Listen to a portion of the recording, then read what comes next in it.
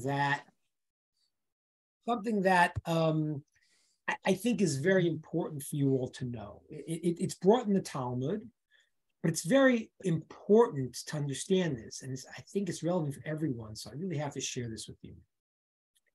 This time of year, everyone talks about the holiday season, right? I mean, you know, we have Jews have Hanukkah, and then the Christians have their holiday, and then they had a Kwanzaa, I don't know, different different holidays, and everyone seems to have this period called the holiday time, and the world just mushes it all into one kind of thing.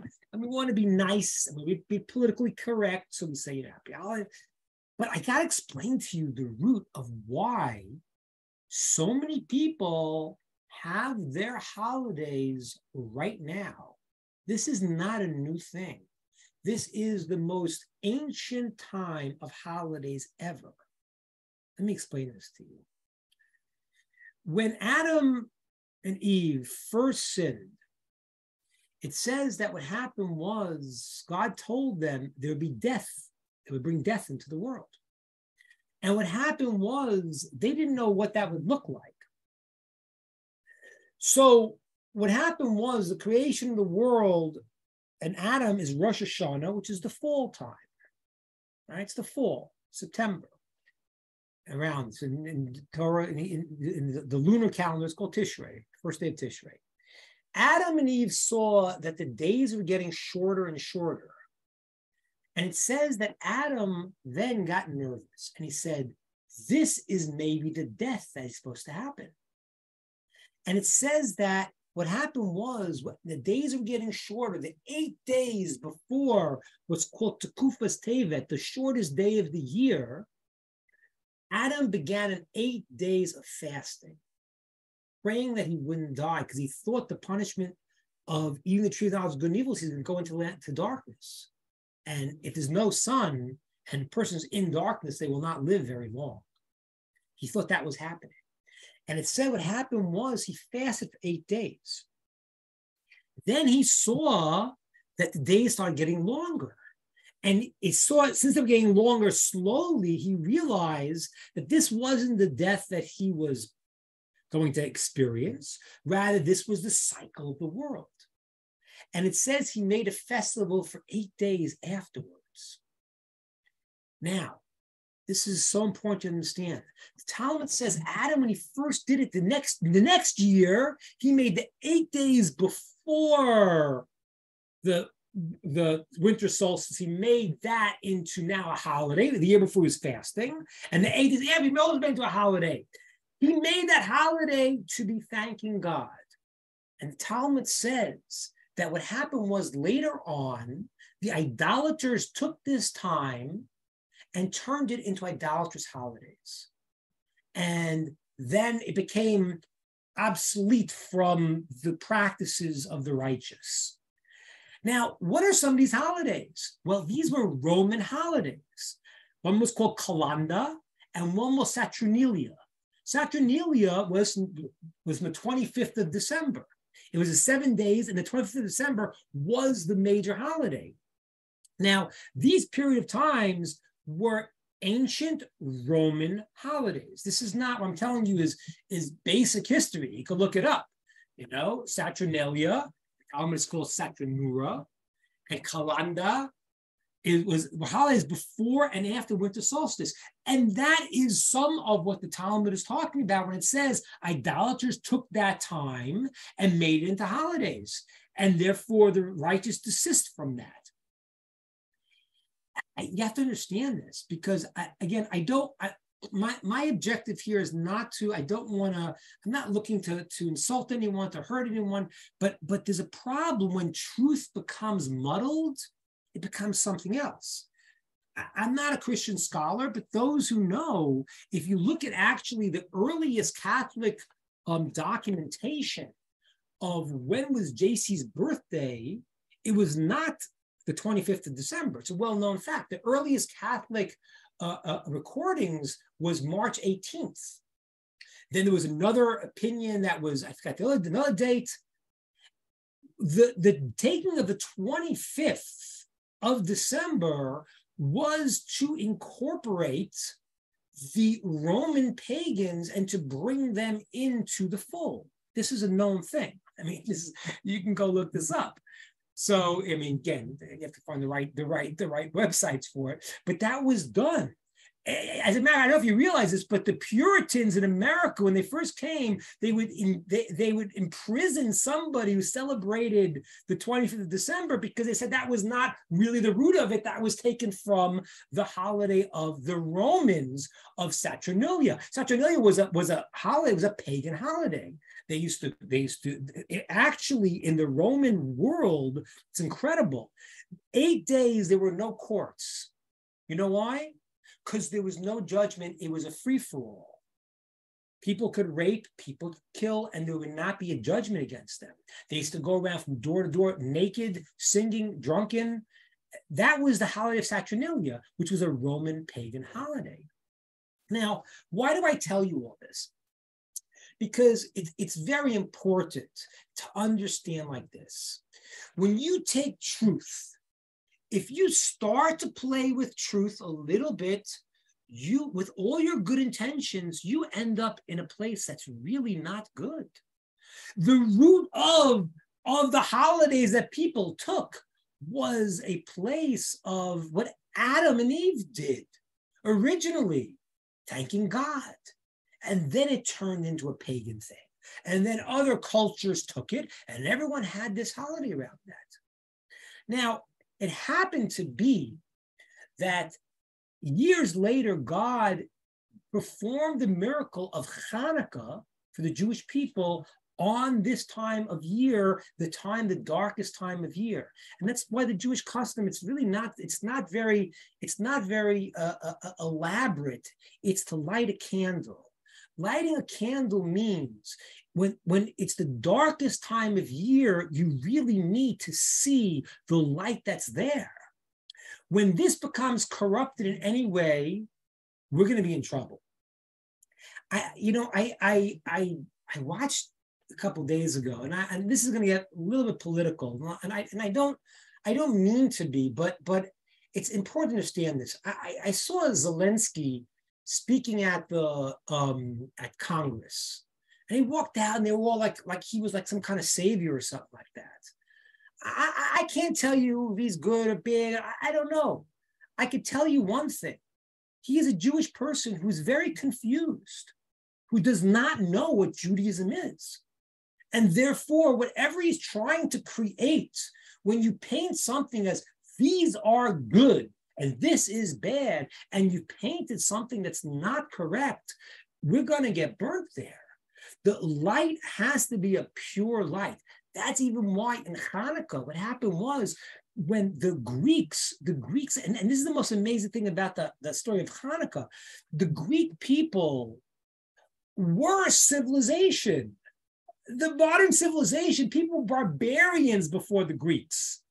And the story of Hanukkah is the Jews against the Greeks. What do you mean? The, the Greeks really were the ones who were trying to make the world into a place that was that had culture, had something. And it's true. It's true. People before were barbarians. That's why the world, besides the Jews, embraced Greek philosophy because it was it was it had depth to it. The Greek philosophy in Jewish terms is hinted at in the beginning of the story of Genesis. It says there was tohu, there was darkness, there was, there was emptiness, bohu, vacantness, darkness on the face of the deep depth. And the sages tell us this was talking about the four exiles, the Babylonian exile, emptiness, and the Persian exile. And then the Greek exile was called the darkness.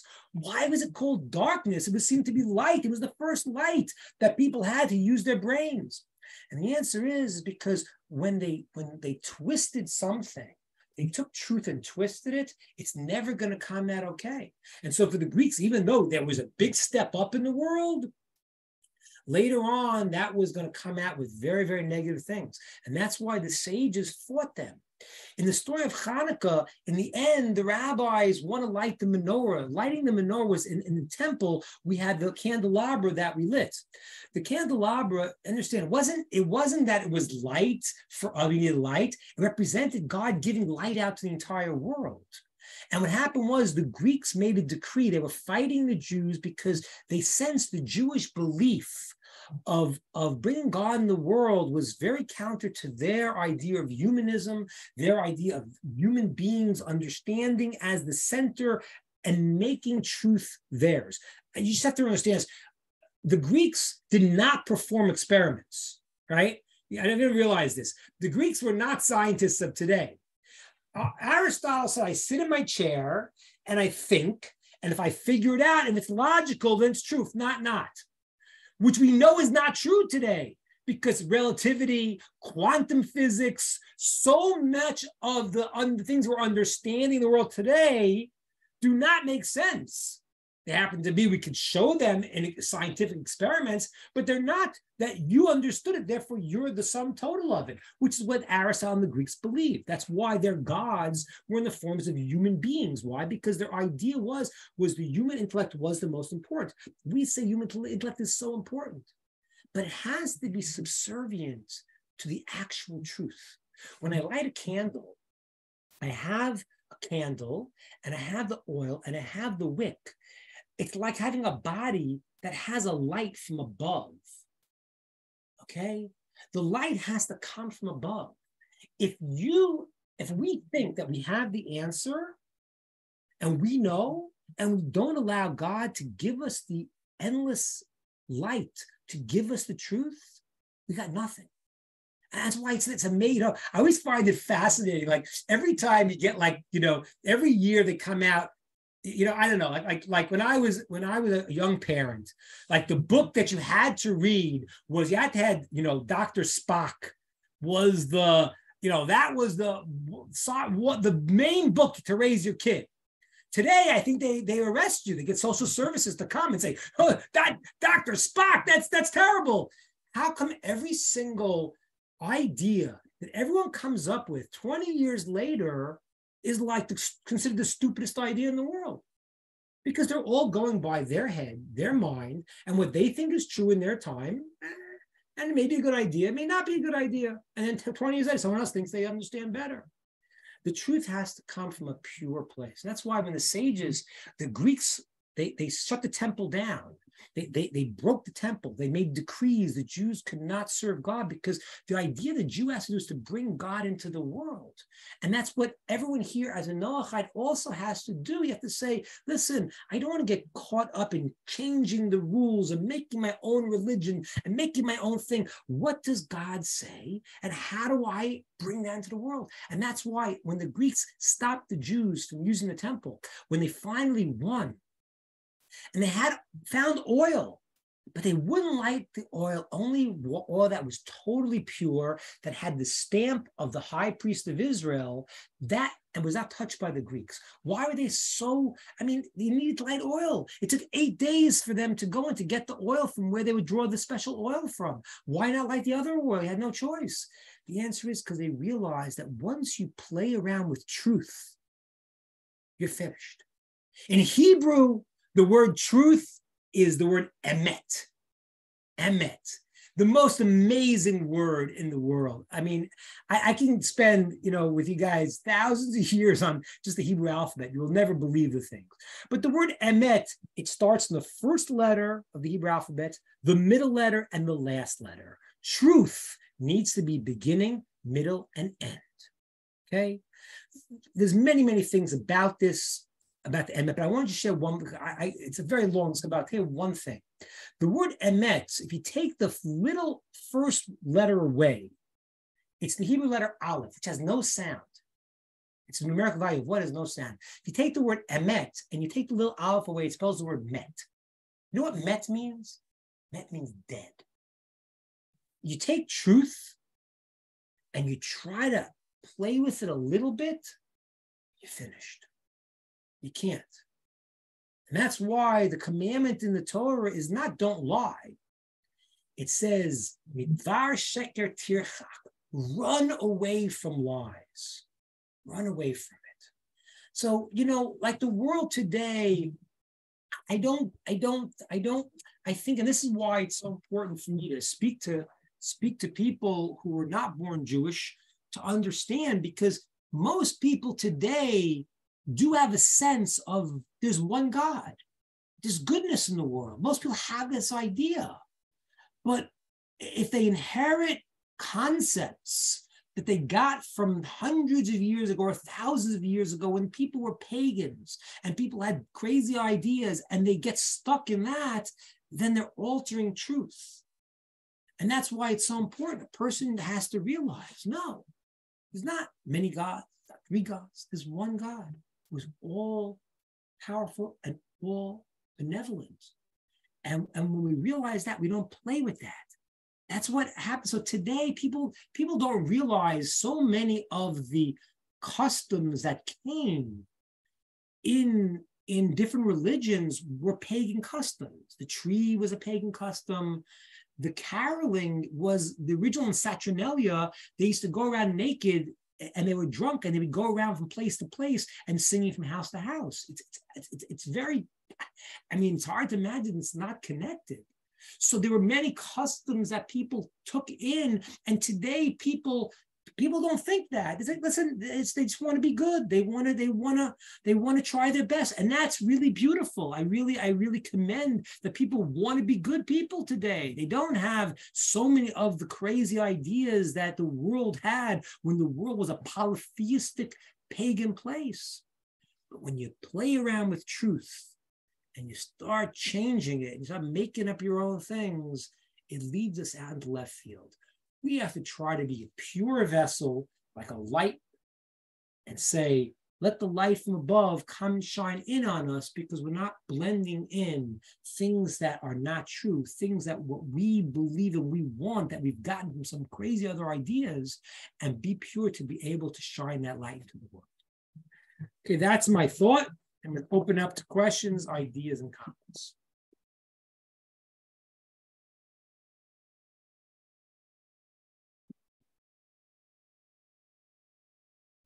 Okay. Anybody I could keep talking about it, but I think you got the idea. Without being too uh, controversial to anyone or anything, but but I mean to say that you know to have this you know to understand people don't realize the the history, you know. The I mean people do know that you know that Rome became you know the seat of Christianity. First, Rome persecuted the Christians, and then afterwards, um, in, in, in time of uh, Constantine, they made it the religion of the state. But the the ideas that come in and the changing of things, and that's why even like people don't realize when they hear many Christian ideas, so many of them have some basis in Jewish thought. They do, because it was reading the books and reading ideas, but not knowing what they mean. And that's why it's a very, I want to tell you a fascinating, I think I shared this with you once, is a midrash. The midrash is the oral Torah. The oral Torah, which is is been written down originally, was was not supposed to be written. It was passed down by heart. And the reason why is for many reasons, but but but it was supposed to be passed down orally and not put into writing for many, many reasons. I mean, simply put, when you, if you know, if somebody gets a, you know, becomes a doctor and a surgeon, you don't want him to get it read by reading a book. You know, he needs to have it from a teacher. He learned, he practiced. So the oral Torah is the explanation of the Torah. It was passed down orally in Judaism for many years till the year 2000 of the 200 of the Common Era. So that means for over a thousand years it was passed down orally. And then what happened was the, the, the leading sage of, of the Jewish people, his name was Rabbi Yehuda HaNasi. Um, he was actually friends with the Roman emperor, who we uh, attribute to be Marcus Aurelius, who was one of the actual Roman emperors who was a righteous person. He actually was a student of, of, of this rabbi in a hidden way. So he got some protection from the Roman persecution, and he wrote down the, the first body of the oral Torah called the Mishnah. So so that was that was now was now first was committed to writing, which was not supposed to be, but it had to be because he saw the Jews were about to go into exile, and Jews have been in exile for a long time. I mean, it's it, I, I know for you it's hard to it for, for Jews it's hard to imagine. Jews can't imagine like wait a minute during the time of King David and Solomon that was the center of the world because Jews have been ex- exile, the Roman exile. We've been it's called the Roman exile for two thousand mm-hmm. years, and we knew this was going to be the long exile. So in the long exile, long exile of darkness. So the oral Torah has many teachings that are presented orally and then have been codified in, in shorthand in the Mishnah, in the Talmud, in the Midrash. Mm-hmm. There's a Midrash that says an amazing thing. It says in the future, the nations of the world will claim that they are the chosen people, the Jewish people. And this happened. You got to understand something. This didn't happen 2,000 years ago. No one was claiming that then. The Romans, the Romans laughed at the Jews. Why are you praying to a God you can't see? Right? People were barbarians. You got to realize that. The Romans said, You have one God, and you have one, we got thousands. so, so you know, the world was like, like really pretty backwards. So it says that people will eventually start to claim that they are the new Jewish people, which is fascinating if you realize it, because every nation, what they're claiming is today, yes, Jews were chosen people. Yes, they agree with that. God gave the Torah, true. Eh, but then he changed it later. That's the way they want to deal with it, which, as I've told you many times, cannot be because the Torah says very, very clearly that it can never be changed. So whoever says it changed, it doesn't make sense. You can't say, I believe in the first book and then he changed it because he says in the first book he'll never change it. Okay. So many people have come now, and many people have said, we are the new, the new Jew, the new chosen people. But the reality is, as the Midrash says, the one thing they'll never have is the oral Torah that explains the Bible, the Torah. Because ladies and gentlemen, if you read the five books without the explanation, it's impossible to understand. And so people for, you know, for a couple thousand years now have been taking concepts that they find in the Torah and explaining it their way.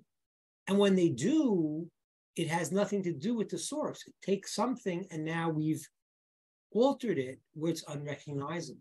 And that's what I'm saying, what my point is today. It's very, very hard. It's very hard because, you know, we live in a world and we live in a world with family, friends, and, and, and you know, you, you, you want to be nice to everyone and, and, and you should be nice to everyone. At the same time, you have to realize that what's going on is that, is that people are not being critical of where do I know this from? Where did I get this? Where is this holiday's roots in? What is the belief? And once it starts to get altered, like the story of Adam, yeah, it was a powerful time. The darkest time of the year is a time where you got to be able to see the light in the darkness. That's true.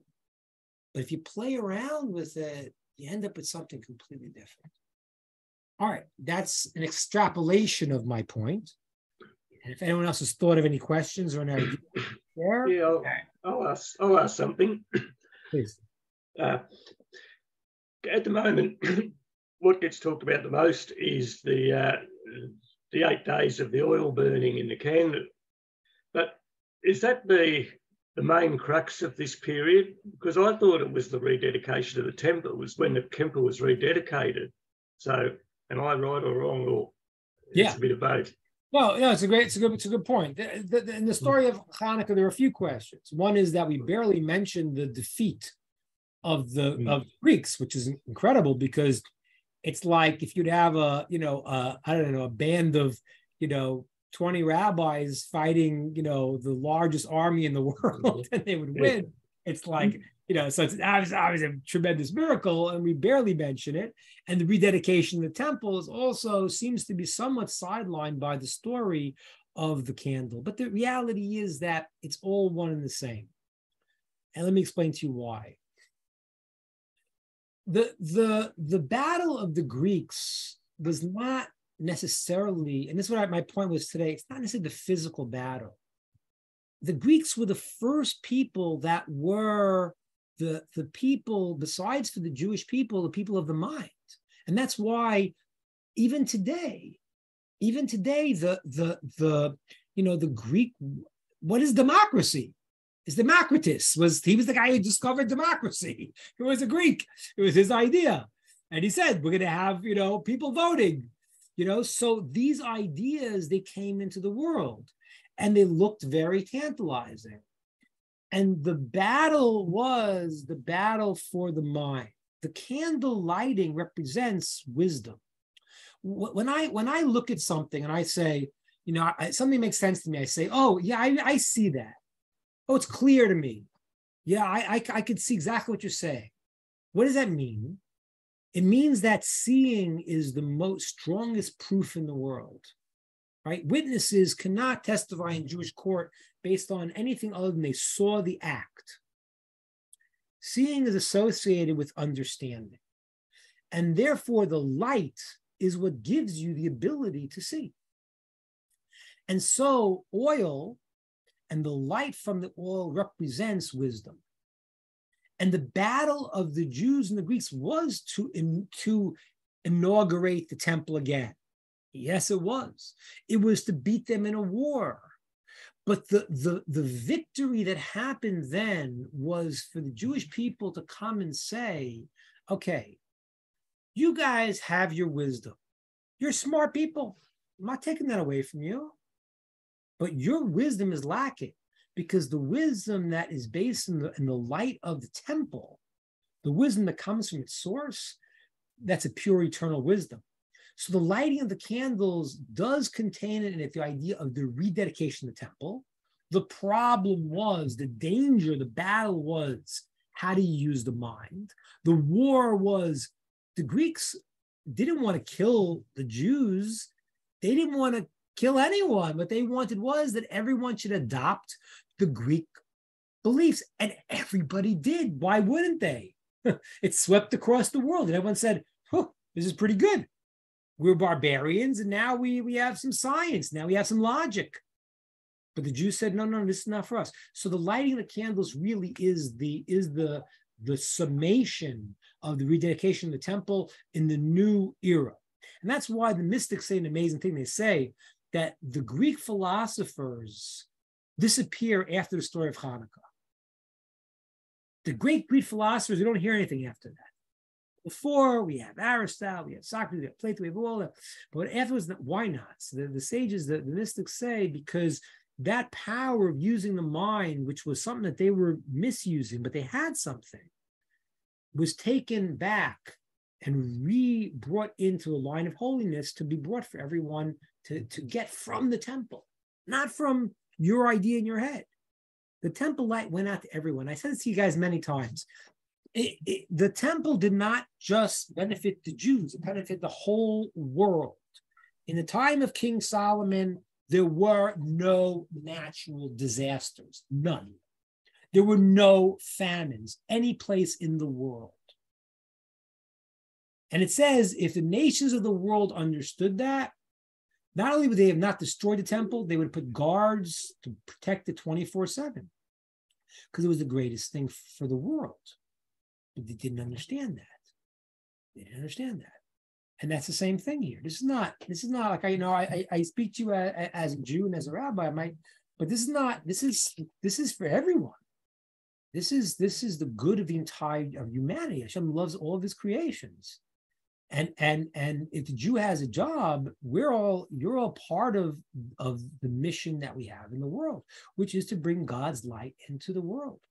And that's why Hanukkah, although it's beating the war and it's rededication of the temple, it's the new level of the battle that could have destroyed the world and hurled it into darkness, which would look like light because they were so smart, but it was darkness. And that's why the lighting of the candle is, is the symbolic root of, of the whole victory of Hanukkah. Uh, I got a question for you.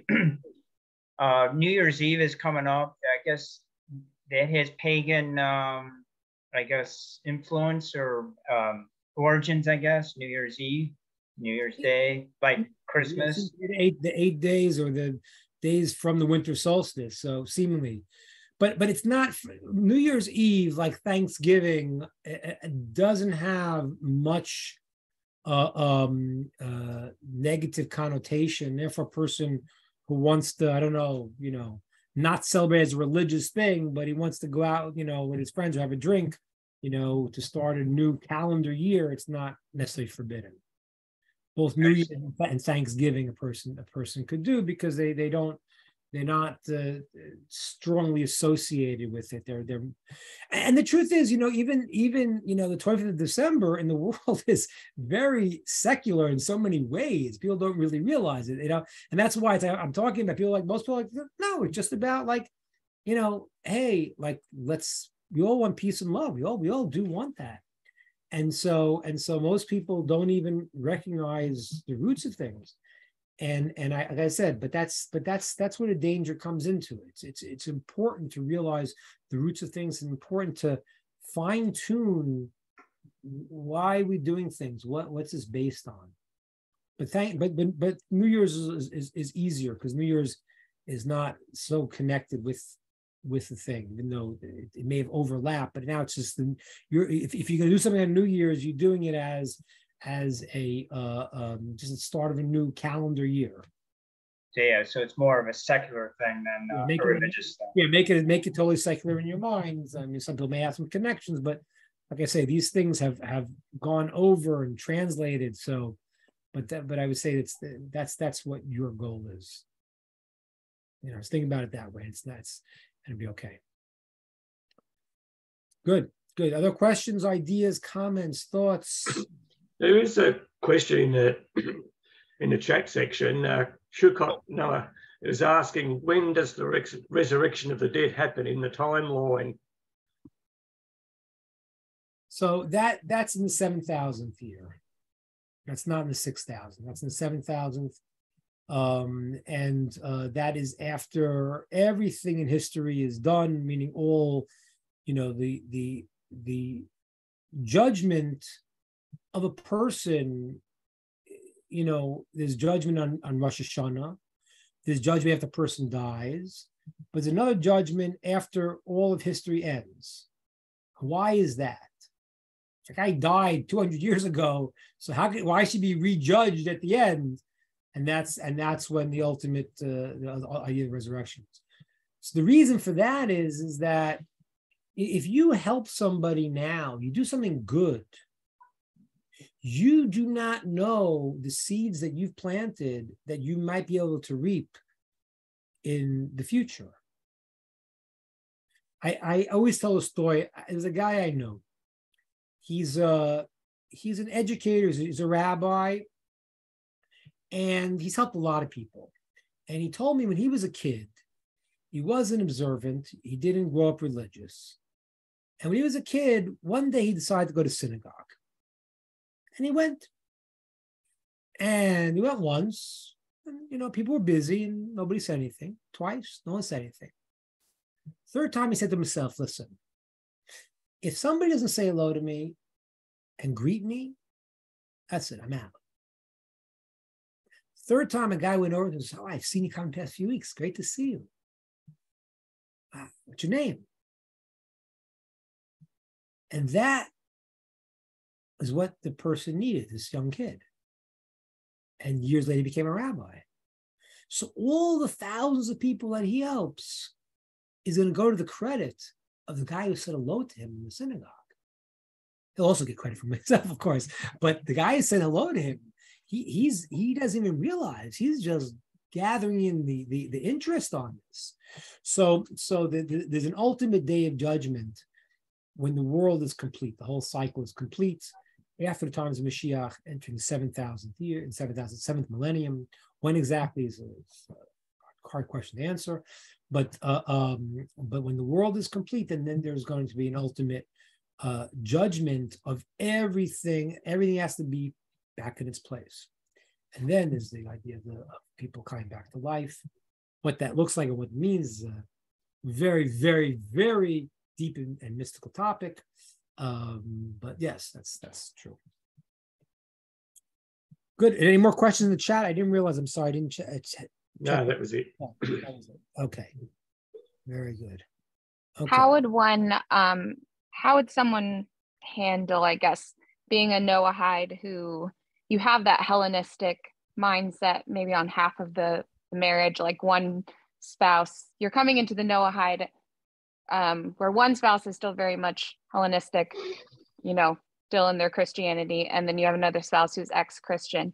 Um, but that spouse has who's ex-Christian, is Torah based, has been raising their kids that way, wants them to continue on that path. But then you have that still Hellenistic struggle of the spouse wanting to kind of step in. Like, how do you handle that? Where it's not like it's an intermarried Jewish couple. It's not that, you know, Right. black and white. Right. Yeah, it's a good question. Uh, and, it, and it requires a lot of good question. It requires a lot of wisdom here because the, the, the reality is, is that when, when, when you want to be able to speak and, and, and share with your spouse and and the things that you're going to say that make sense that are going to are going to are going to sit with the the spouse eventually they'll they'll be able to incorporate it. But if you go in trying to preach and trying to change someone then then nobody wants to hear that. Nobody everyone can only hear what they can hear. That, that's the rule. And and therefore you got to know there's a principle. Just like it's a mitzvah it's the proper thing to say things that can be heard. It's a mitzvah not to say something that can't be heard there's a time where you say, all right, this is not right now, we're not, you know, I, I don't agree with that. I, I think this and you think that. Okay, let's put that on the side because we're not, we don't, we're not in agreement on that. Let's go deal with other things that are possible that a person could hear the other person's position. So you have to navigate it in a way where there's discussion, there's growth, there's ability to hear, and yet not overstep where you're saying this is not going to be heard right now. I, am not. I'm not going there. You, think that? I think there's disagree, and then and then if, if you if you fight the smaller battles, the things that a person can hear, eventually they're open to hear things that that they might not have been willing to hear years ago. And uh, I just had my 35th wedding anniversary. So it's like it's like kind of shocking, like you know, certain things are like, you know, I kind of talked about these things, you know, you know, many years ago, and I said to my wife, "Hey, you know, like kind of now it's it's we're, we're on the same page." You know, like I couldn't couldn't I couldn't push certain things years ago, and you know, we're both we're both uh, you know religious Jews, but I have, yeah I have different opinions. But okay, it doesn't go in so so much. You have to build something. Just understand this principle a little bit better you know, God does not expect you to go from zero to 100. That, that can't be done. Zero goes to one, one goes to two, two goes to three. That's the way it has to be. You can't go from zero to 100. You're going to fall back. So, wherever the person is, communicate the concept that is the next step that the mind can handle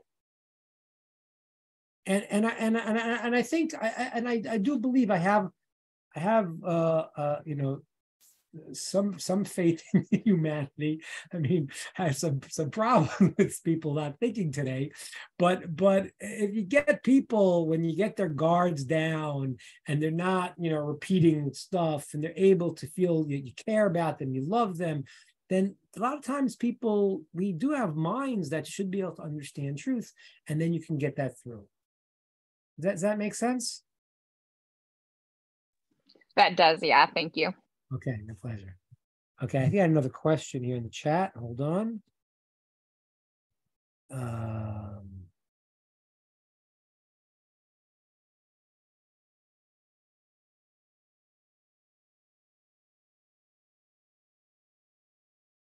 are you talking about in, in terms of uh, of yeah this is not a, Kyle, I think he's asking about a calculation about JC's uh, uh, when he was alive. There's apparently 150 years that this is not a Jewish source necessarily. There's even Christian scholars. Oh, I'm sorry. What were you referring to? 150 years off in terms of what? I thought Kyle's question was different. There, there, there, uh, there. The Hebrew calendar. No, the Hebrew calendar is not 150 years. The, the, there was a 150 year discussion um, on on by by JC because there's Christian theologians that say he was a composite person because he actually we know who he was. He was a student of Rabbi Shimon Parchia, who is who is uh, the timeline doesn't fit to when people say he was, but there's a lot of contradictions. But in the Jewish calendar, there's not no, there's not a there's not 150 years off. Unaware of such a such a thing. If you find any source, show me that. But I, I I've, I've never heard such a thing. We we have a pretty uh, you know it's amazing. I, I, you know it's it's it's really fascinating. But you can you know if you look at the book called Ethics of Our Fathers. Yeah, I think it was a reference to Catholic and JC that there was 150 years missing. And, and and what Charles asking was apparently, and this is not a Jewish discussion as much, there are Christian scholars. I mean, obviously they're not mainstream Christian, but they say that JC was a composite person because during the time of the Roman persecution, there were many people that came saying they were the Messiah, and there was a, there was a, a discrepancy of 150 years, and some people say that there was a there was a, uh, um, it became a composite to fix the time. You go, I'm sure Tovia Singer uh, has a lot of discussions about exactly that. I'm sure you can find there when Tovia Singers always discusses these things. Um, but in, in, as far as the uh, uh, um, the the Jewish calendar, you know, we, we, you know it's quite accurate, and what's quite amazing, like you know, the the in the in the Mishnah called the Ethics of Our Fathers, it lists the transmission of the Torah from Moshe. Okay, and it goes down to the and the second temple. Now we have people that can connect their lineage straight back to there, both their their birth lineage as well as their teachers. You know, I like I, I have a friend who's a Cohen who can trace his lineage back to the second temple. You know, exactly. Now, that's an amazing thing. That means that that when I am getting the Torah from my teacher, he can tr- trace back getting it from his teacher, from his teacher, from his teacher, all the way back to mm. That's incredible. That's that's a pretty, it's, a, it's a very direct lie, you know. And that's why, by the way, one of the decrees of the Romans was they forbade what's called the smicha. The smicha was the ordination. The ordination we have today is not the classic ordination. The classic ordination was only allowed to be done in the land of Israel and it was the ordination that Moses gave to Joshua, and it meant that you know everything. Like today, you can get ordination as a rabbi in certain areas, you know, in these laws or those laws. But there was a transmission that was given that the ordination happened in the land of Israel, and that was said that you knew everything and you were the next link in the chain. The Romans, uh, they made a decree that person couldn't couldn't give ordination to their to their students. And they said if a rabbi did he would be killed the student would be killed and the entire city would be destroyed. And there's a very famous story of one rabbi Yehuda ben Bava who went out into the, the desert and he gave five rabbis ordination. He was in between cities so it couldn't be blamed on any city and he gave his five rabbis ordination and then the romans came and he told the students to run and he was an old man and he got you know they, they pierced him with arrows and he died. But he was willing to sacrifice that to maintain the chain. So even though we don't have that fully in the sense that ordination stopped when we got exiled from the land of israel but we do have a direct line that goes back to way back to moshe and then moshe to abraham then abraham to adam. So that's a pretty straight straight shot. I I can add to that last line that Kyle wrote because uh, he says, and he had the same name. I think he's referring to the JC thing. Uh, I recall the Rabbi Singer saying that Christians tend to use a Yeshua that's I think it's in the Talmud. There's two mentions but one each one is 100 years out. One's 100 years before JC's Hoser time, the other one's 100 years after JC's time. So I think that might be what the inquiry is about. But, Yeah. but that that uh, there's a hundred years. I recall it's about a hundred years. Both of them a hundred years out, one before and one after, showing debunking Christianity, saying, oh, "Look, look, Yeshua's in the in the Talmud." Right. Well, the truth is, you know, he is mentioned in the Talmud. Um, we even know the story. It was censored by the early Christians. It- there's a there's a there's a story in in the Talmud which was censored. We have the version, but it was censored, which talks about when his rabbi or Yeshua Parahia kicked out kicked him out as a student. It's a very it's a very uh, sort of sad story there, but he he rejected him as a student, and then he came back and he tried to get rabbi to forgive him, and then the rabbi uh, said no once and twice, and the third time the rabbi was going to accept him back as a student, and he he was saying the Shema, he closed his eyes, and then when and when he didn't answer, so JC said, "Oh, he's rejected. I'll make up my own my own path." Um, you know, so we do have we do have stories that you know, he, again, he was never a rabbi, he was a student of a rabbi. Uh, he never was a smich rabbi. Um, told us, I don't know what the, question was. He was he was a student of the rabbis, uh, of a rabbi, and and that's that's what it was. So yeah, we do have him recorded. It's not, uh, yeah, we do say he was an actual person and a Jewish person. Told, I, I'm not sure what this question means. It told us, I, I I don't know what that refers to. Told us, I mean, Ye- Yeshu is what the rabbis the nickname they gave to him as uh, his name was, you know, was Yeshua. Um, yeah.